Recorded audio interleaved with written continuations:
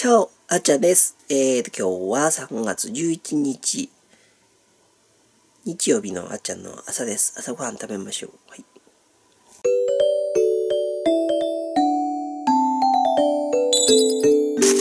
はい。あ、今日何作ろうかな？まだ決まってないんですけど、えーと、何しようかな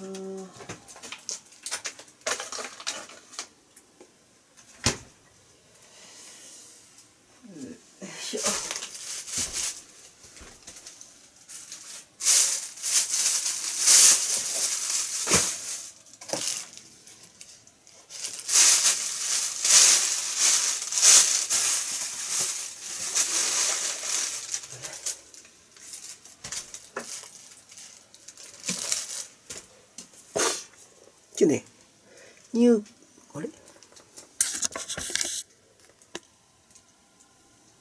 はい、え今日はね、ニューコンビーフ。ニューコンビーフって、コンビーフには牛やねんけど、ニューコンビーフって牛と馬が入ってんねんて。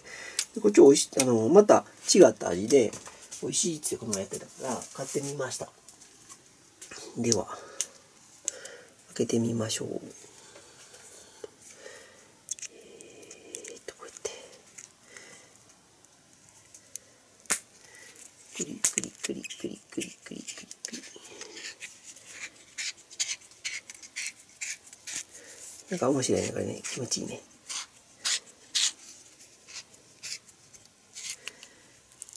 プチュパカーン。はい。では食べましょう。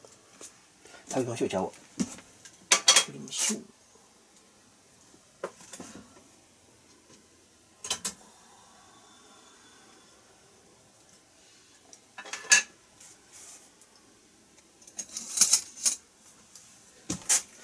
ドラマでこれさ、このまま、缶のままパクって食べてるドラマあってさ、それ見て美味しそうやなぁ思って食べてみたらあんま美味しくなかったよね、子供の頃ね。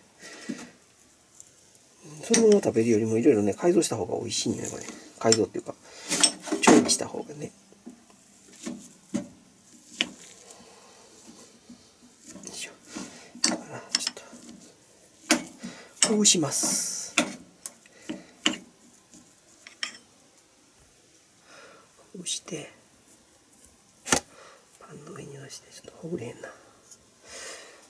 寒いからかな。油が固まってほぐれへんの。よいしょ。こんな感じに置いて。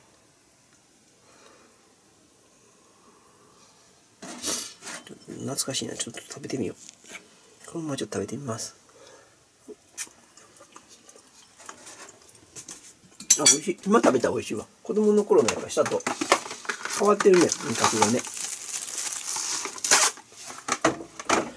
ああ、馬肉入り美味しいな。うん、いいです、これ。はい。えー、何がええねんって、な何かわからんけど美味しい。ねねねねほんま今、今ほんま今日はね、起きたて。子供まだ寝てんね。今日出かけすんねんけど、もう子供もまだ起こしてないから。あっちゃん食べ終わって、撮影終わってから起こそうかなって思ってるんだけどね。コンビーフ何しようかな。もうそのままいこう。そのまま、えー焼く。半分だけチーズのせる。これでいきましょう。半分こっちの方は何もなしで。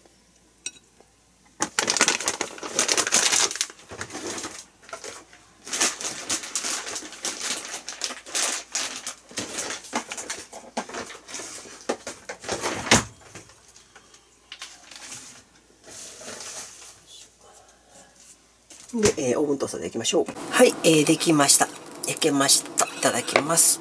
はい。ちょっとね、今日。あ。うわ。ちょっとね、お出かけするね、子供とね。うん、だから、ちょっと準備をして。うん。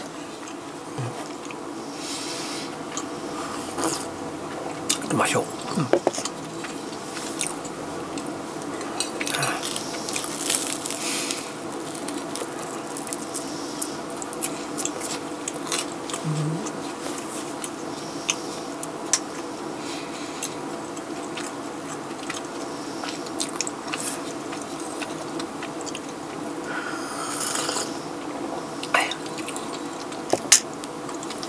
ちゃくちゃ眠たい今ほんま起きたてやから。ほんま起きたてでうん朝ごはん食べたらね。食べたらいつもそんなして食べへんね大体起きてちょっとしてからまったりゆっくりしてから食べるんだけど今日出かけするから準備しなあかんから起きてすぐ食べてるから頭が回らへんねんけど。今日はね、うん、3月11日、うん、もうこの動画上がる日はもう12日になってるからねんけど。も、うん。ね、もう震災の日やからどこなんていうのかな。なっちゃんにとっても当事者じゃないねんけどね特別な日で。まあ前日で前日から動画上げてるけどもね。やねんけど。やっぱりね、うん、まあいろいろあるし。ね。やっぱり泣いてても前向いて進まない。こともあるし、だからって言って我慢するのもいいし。昨日ちょうどねライブしてたね夜ね、うん、夜ライブしててみんなとこも話してたけど。どんな人に勇気づけられてあるちゃんの言葉で勇気づけづいてくれたりとかでこれライブはいいなって思っちゃう、うん、特にねあの通のライブするとすごい人集まんねんね、うん、で会話もこう流れてちゃうんだけどゲームライブってどっちかってまったりして、うん、人もそんなに、うん。うん、はい。少ない。で会話の流れも穏やかやね。なっちゃんもゲームしながらやから見落とすこともあるんねんけどただ逆にゲームでガチでやるんじゃなく雑談しながらのゲームっていうのをやってたらやっぱり相談事とかねあのお話とかしに来てくれる人がいてんだけど相談してくれてなっちゃんの答えで「心軽くなった」とか言ってくれて嬉しくってね、うん、だからなんか社会の役に立ててるなって気持ちになれるんよね。動画はどうしてもね一方的にこうあっちゃんが話すからそれに対しての勝手な想像とかであの賛否両論がついちゃったりする。そこにおひれはひれがついたりするから、うん、やっぱりライブの方がいいかな。本当よく言ってくれんねんあっちゃんはライブの方がいいってよく言ってくれんねんけど、うん、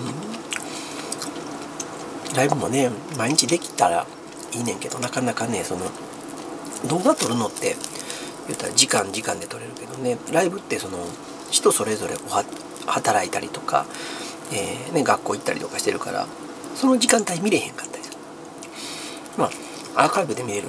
でアーカイブで見んやったら動画の方が、うん、一方的に喋る方がいいかなと思ったりもするしで参加できへんだ人はねやっぱりその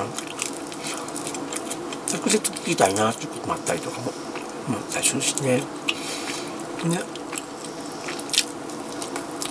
昨日ちょっとメールがあって、ライブね、毎週金曜日だけど、金曜日の夜って、アルバイトが忙しいんで、だから、学生さんやねんけど、うん、アルバイトが忙しくて見れへんから、うん、ライブを土曜日にしてよとか、うん、平日の夕方してよとか、まあ、いろんないろんなまあリクエストもあるんだけどだからほんまにライブをいろんな時間にしたいなと思うんだけど。なかなかね時間が取れへんねん。ねごめんなさいやねんけど。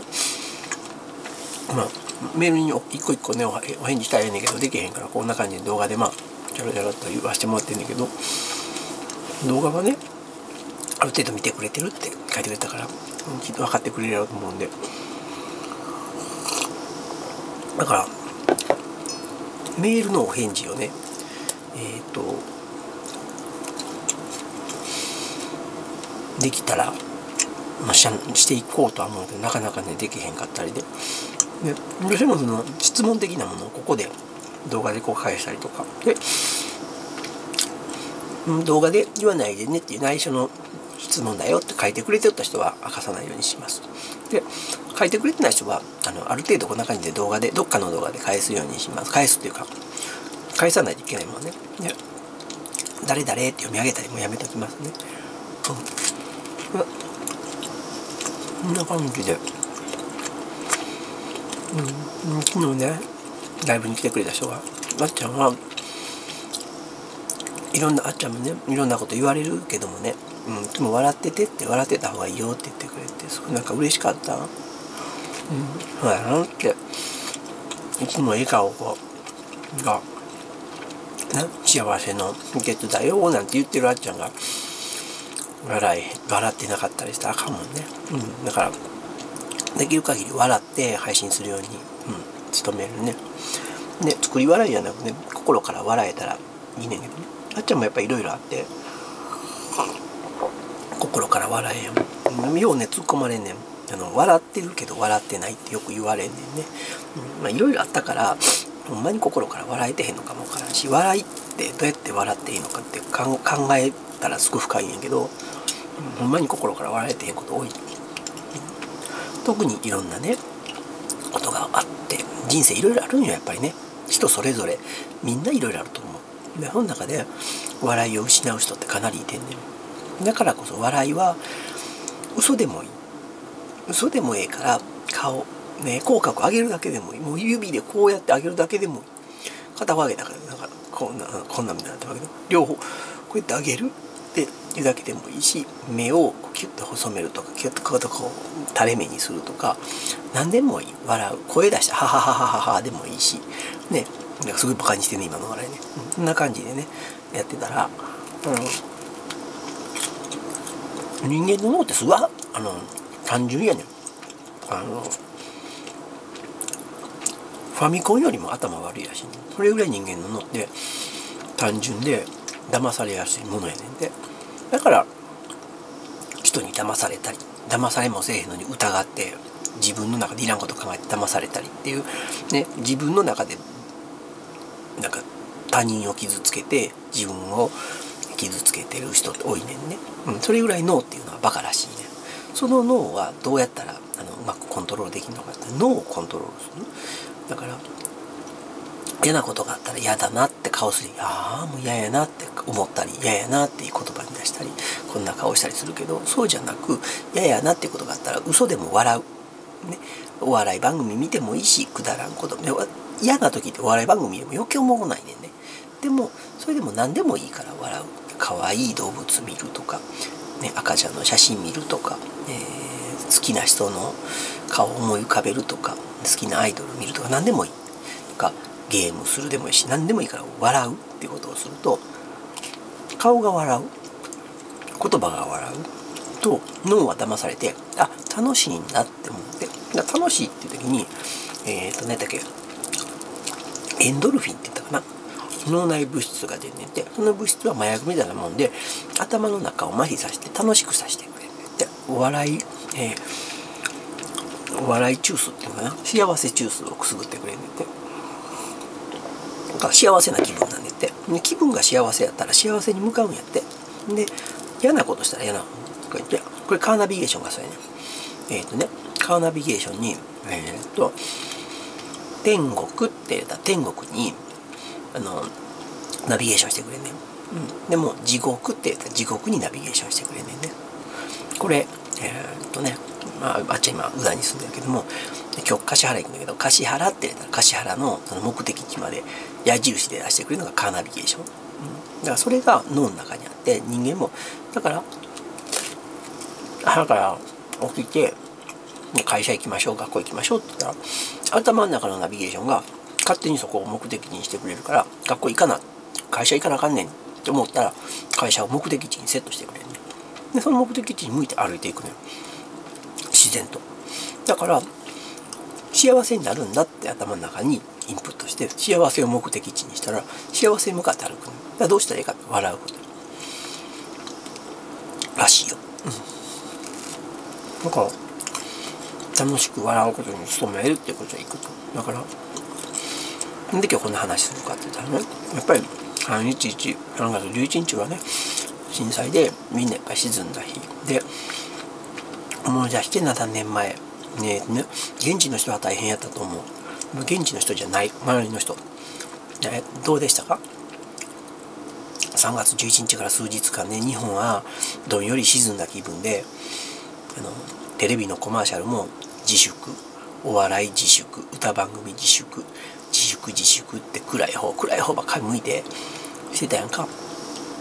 そうじゃない。現地の人はね支援に来てくれて炊き出しとかもあるけどそんなんじゃなく歌で復興で歌ったりとかお笑いであの現地でお笑いライブしてくれたりとかそういうのもねやっぱりその炊き出しとかあの復興支援って瓦礫片付けるんじゃなく笑顔のお届け物っていうので前向いて幸せになれたってあちゃん聞いたことがあるね。そこちゃうかなって人間だからあっちゃんいつも思うんだけどああいう大きな災害やったり事件事故があったら自粛しますって言うけど自粛じゃない。逆にそうやってねあの意識をそらすんじゃないけど楽しいことにこう人間の楽しいところの目的地に持っていくようなセットもできることをやってあげるのがあれちゃうかなってあのほんまの復興じゃないのかなって思う。だからなっちゃんもねそのやっぱりこういうどうかなと思うね。こういうだから動画を出したりとかも。でこの動画に CM つけたりとかもどうかと思うけどそうやって CM つけたりしたら盛り上がる？CM つけたら国内も盛り上がる？じゃあそこにえー、っとまあ、CM ついたものを買うとかいろんなことでケーキも盛り上がる。ケーキが盛り上がったらそのお金は被災地行くよね。で、まあ、確かにその企業を設けたらねどっかへ使うってなった時に企業もイメージ考えたら被災地の方にお金を持っていく。じゃあ自粛することによって経済冷え込んだら復興者なあかんのに復興者なんお金が湧いてきやへんねん。だからあっちゃん CM つけたりそうやったら賛成やねん逆に。でなんであの時に公共広告機構かなんか AC のコマーシャルだけで一般企業みんな自粛したんかなって。自動車関連なんて兆とか億とか何十億とか儲け儲けてお金動いてるのに自粛することによってコマーシャルにお金払わんでいいけども逆に言ったら車すら売れんくなんねんね。まあ被災地での工場で売れても作られへんっていうのはあったかもわからへん。うん。うん、結局ねそうやって景気を冷え込ますので人間の意識やと思う。景気って感じの通り、ね、うん、気持ちの気が入るでしょ。景気、病気、雰囲気、まあまあそういうの気って入るのは気持ちやねんってやっちゃうんですね。だから人間の気持ちが変わったらケーキなんて変わるし、まあ、病気もそうやねん気持ちで病気になることって多いのと一緒でね。だから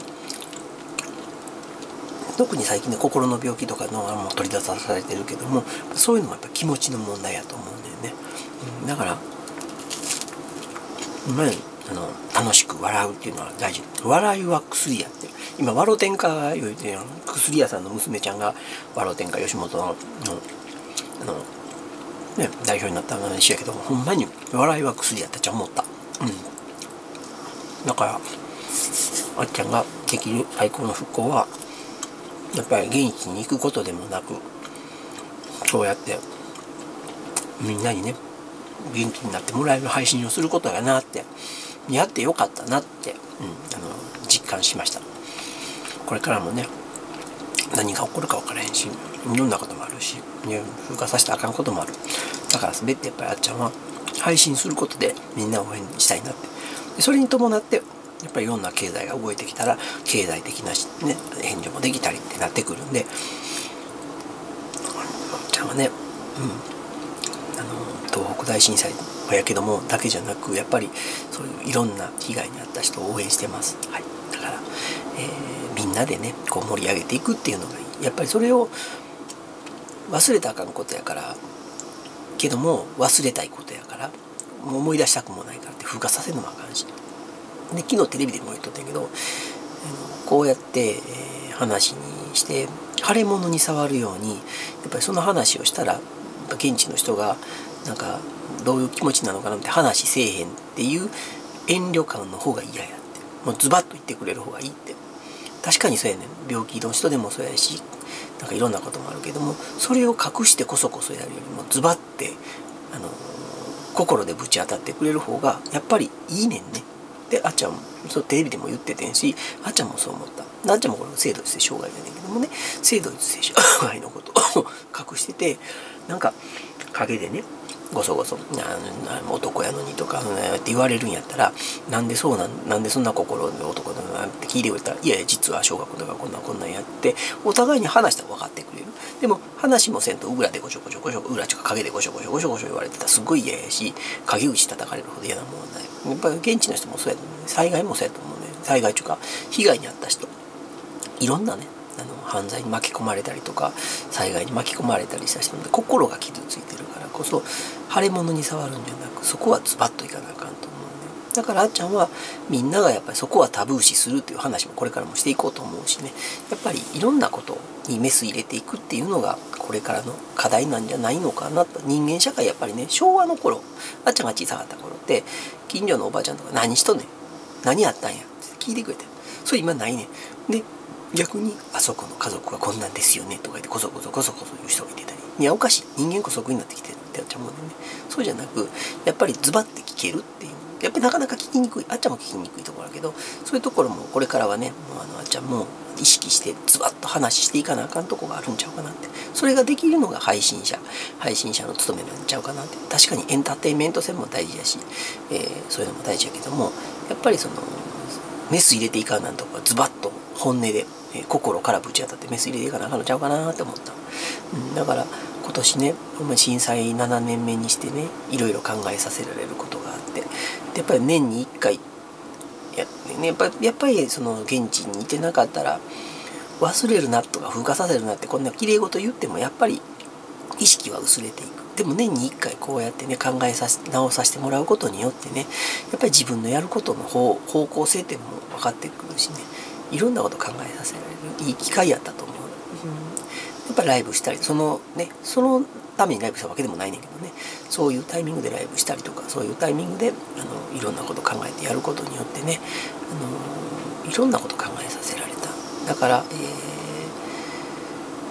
ー、あっちゃんもね今年まだ2018年に入っていろいろ変わるよっていうことの中でねやっていかないといけないことがいろいろまたあの思い浮かぶっていうかみんなとこうね何をしたらいいのかっていうのがだんだんだんだん見えてきた気がしました。ということで今日2018年え3月11日、えー、また、えー、いい日になりました。えー、日に日にやっぱり復興も進んでないと言いながらもやっぱり日に日に進んでるし日に日にやっぱりみんなあの現地の人もねあの歩き出してるし周りの人も歩き出してるみんな全て前向いて歩いてんねからね逆行するんじゃなく前向いて、えー、ね、笑顔でいきましょう。はい。ちょっとまたジュース飲みます。うん。あ、酢入れすぎちゃった。酸っぱうん。まあね、人生も甘酸っぱいです。はい。ということで、えー、楽しくいきましょう。で、あの、お後がよろしいようで。はい。ということで、今日のあっちゃんの朝ごはんとね、ちょっとしたお話いいなと思ってくれたら、こう、評価を。で、ね、また、えっ、ー、と、こんなあっちゃんやねんけどもね、これからもね、みんなにちょっとでも元気を分けられ、分け与えられるような配信者になれたらいいなと思って頑張ってやっていきます。こんなあっちゃんやけど見てくれる人、チャンネル登録して見てくれたら嬉しいです。はい。それでね、みんなでね、もう幸せをつかみましょう。あっちゃんちょっと好きな歌があるんだけどね、今日歌へんけどね、またその歌とお話もしたいんでね、みんなでみんなでやっぱチャンスをつかみ取りましょうって思います。はい。ということで、明るい未来、必ず明るい未来が待ってるその明るい未来は人間の意識で作るんでみんなの意識で作っていきましょうではまたね今日もいい日でありますように。